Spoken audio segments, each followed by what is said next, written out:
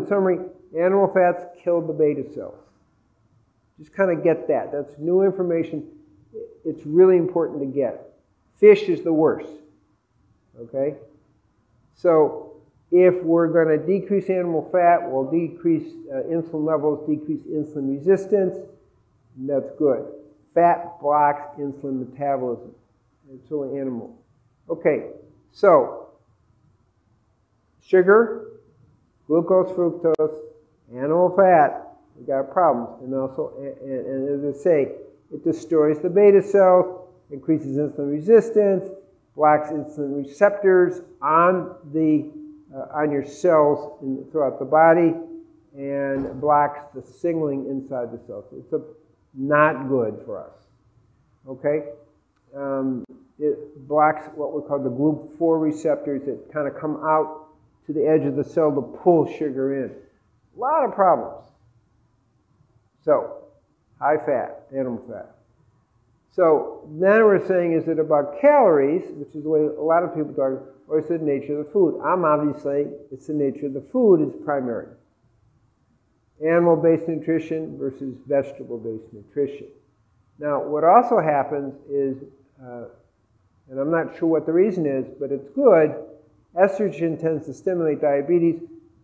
Uh, vegan, vegetarian women secrete two to three times more estrogen than meat-eating women. That's protective. That's a good thing. Okay? So, vegan, vegetarian women have lower estrogen, which is, again, healthy. Now, what are other problems with animal tissue?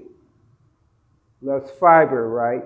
Less antioxidants, and more inflammation. We have to understand that eating meat inflames the whole system and that, remember, chronic inflammation is the driving force. That's the key uh, when we're eating meat.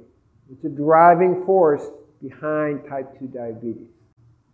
It's actually a driving force behind type 1 diabetes as well, but for a different reason. Okay. Leucine, methionine are a problem. They increase the rate of aging. Okay. Um, now, this is interesting. Okay, meat's higher in saturated fat. It's also acidic. So acidity increases the rate of diabetes. Know, we got a 56% increase in, in diabetes with that. Low fiber. So meat increases insulin resistance. When you're cooking meat, when you're cooking anything, it's baked, processed, grilled, it's all going to increase ages.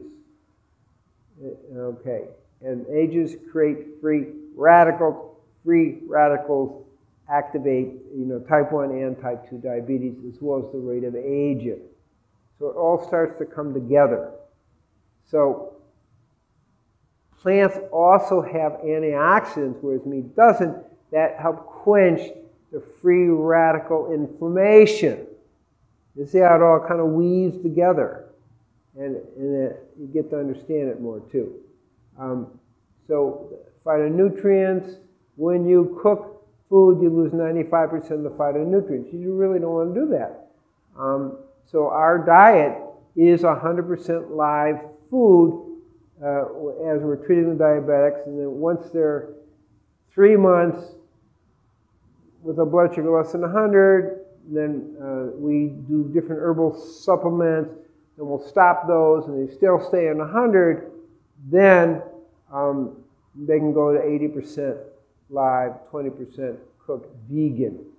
One of our type 1 diabetics, who's been really good for years and years, uh, 12 years at this point, um, he wrote me, he said, I'm starting to eat fish and my blood sugars are going up.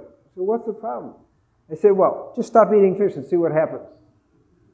Blood sugars went down to the you know low went down to the low 80s again.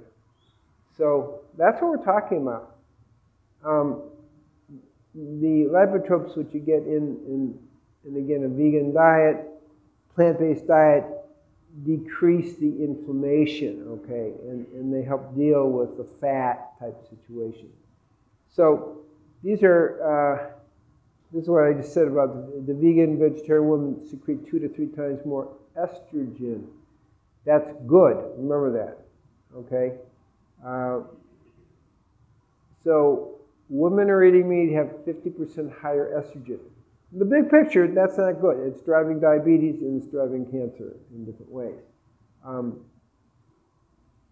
so, we have really interesting results with the plant based diet. Even if people they're given the instructions and they don't really follow it, they do one of five things, there's still a 50% drop. They follow all five, 100% prevention.